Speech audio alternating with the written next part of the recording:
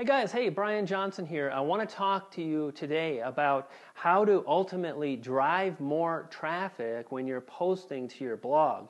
And the idea is simple. You're going to create content that moves you, content that you're excited about, and content that your visitors are interested in. And when you're about done, you want to kind of analyze and understand what keywords people are using to find the kind of content you just created.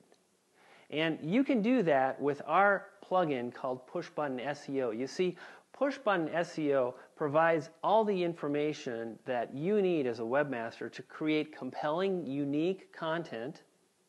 It gives you the keywords that people are literally searching for. It gives you latent semantic uh, indexing keywords or LSI. We call those related keywords, and we were able to provide those by querying uh, YouTube in a very unique way.